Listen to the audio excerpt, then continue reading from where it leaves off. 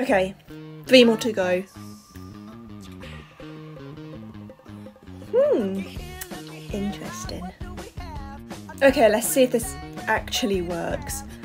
I wish for some money. A pound?